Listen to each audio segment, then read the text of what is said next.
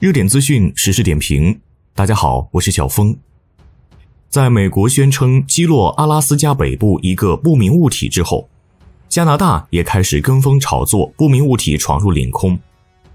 据加拿大《环球邮报》二月十一日报道，加拿大总理特鲁多在当地时间十一日对外宣称，一架美军 F 二二战机在他的命令下击落了一个飞入加拿大领空的不明飞行物体。我下令击落了一个侵犯加拿大领空的不明物体，北美防空司令部在御空上空将其击落。特鲁多在社交媒体上发文称，加拿大和美国军机紧急起飞，一架美国 F 二二战斗机成功对这一物体开火。特鲁多称，他已在十一日与美国总统拜登进行了交谈，加拿大军队将回收并分析这个不明飞行物体的残骸。看了这条新闻，大胆推测一下，以后将有更多的不明物体飞翔在美国和加拿大的上空，够美国的 F 二二喝一壶的了。因为这些不明飞行物可以由任何民间团体，甚至是美国的老百姓放飞到天空，然后看看这个 F 二二怎么打球，比足球都精彩。美国有人猜测，加拿大击落的不明物体会不会是美国的气象气球呢？媒体称，已知它的大小相当于一辆小汽车，这样的体积也就是一个普通的小型探空气球了。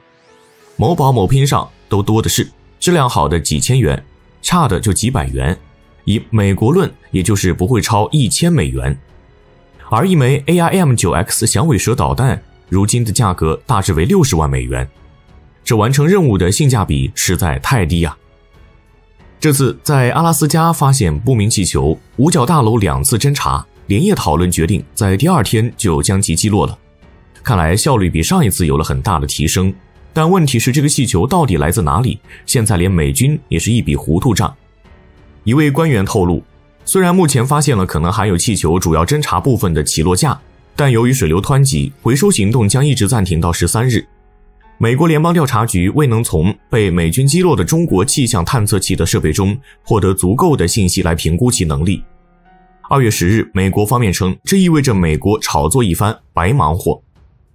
击落阿拉斯加气球后，这回美国倒没有急不可耐地控诉所谓的间谍设备，也没有指控哪个国家放飞了这个气球，反而是一问三不知。科比只强调白宫正在努力了解更多信息。而五角大楼发言人莱德干脆以机密为由，拒绝向媒体透露这个气球的来源、用途可能来自哪个国家。当被问及流浪气球是否给美国军方教训时，莱德颇有些恼火地回应了一句：“风马牛不相及。”气球被击落后，一位追踪美国海洋和大气管理局 （NOAA） 数据的美国网友在社交媒体上表示，一个 NOAA 的气象气球在阿拉斯加上空疑似失联。他怀疑美军击落了自己人放飞的气球。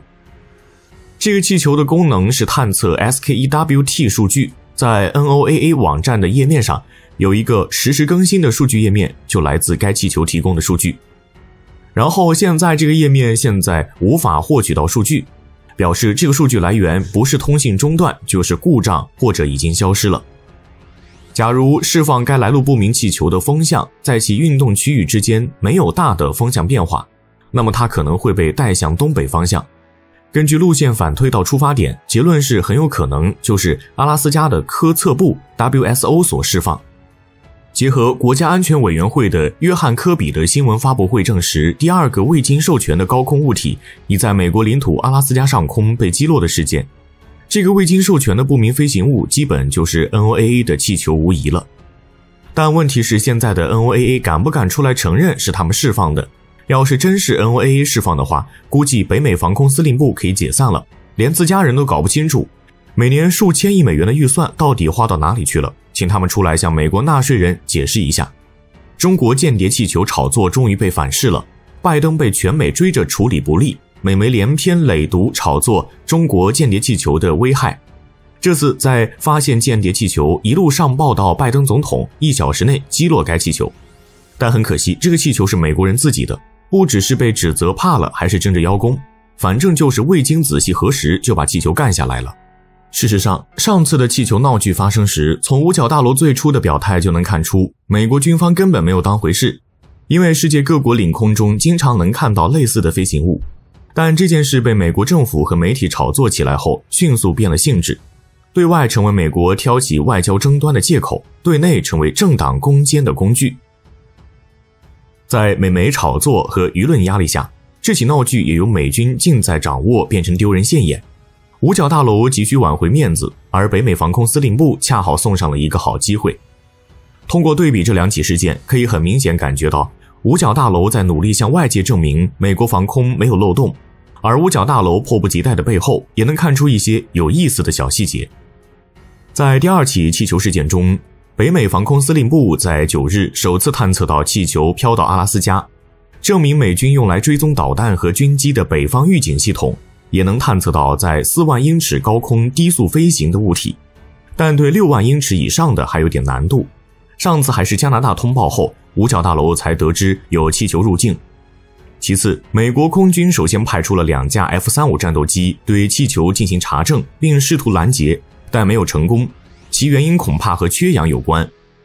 二零一七年，美国空军发现 F 三五在高空飞行时，飞行员极其容易缺氧。但至今，美国军方和洛马公司都没有找到事故原因，只能限制 F 三五飞行高度，而气球的飞行高度一般在二十到四十千米，这显然让 F 三五有些力不从心。不过，气球杀手 F 二二这次倒是表现出色，在四万英尺高度即一点二万米左右顺利击落目标，而上次是等到气球降落到一点八万米才勉强击落。这也从侧面证明，F-22 在面对两万米高空的对手时仍有些吃力。就目前而言，美国对第二起气球事件公布的信息确实不多，很多程度上取决于美国政府打算如何拿这起事件做文章。但不管怎么说，F-22 这个气球杀手的称号恐怕洗不掉了。以后中国啥都不用挂，搞个雷达角反射，反射面积从大到小随机分布，也释放一些没有角反射器的。前者消耗防空导弹，后者消耗红外制导空空导弹。只要时不时释放一些，那么北美防空司令部就是预算增加一倍都对付不了，美空军会疲于奔命。美国能用气球对付中俄吗？答案是不行，因为美国人释放的气球只会跨越大西洋，抵达英国和欧洲，从欧洲再飘到中俄地界，估计会有数十个国家抗议美国气球经过领空。在这招数就是超低成本拖死美国人。当然，美国人要是置之不理就没辙了。但真要是这样的话，就在气球下面挂个侦察设备、卫星通信的那种，明目张胆的拍照，气死美国空军。本期节目就到这里，感谢大家收看。如果你有一些独到的见解，欢迎在下方给我们留言。祝大家工作生活愉快，我们下次再会。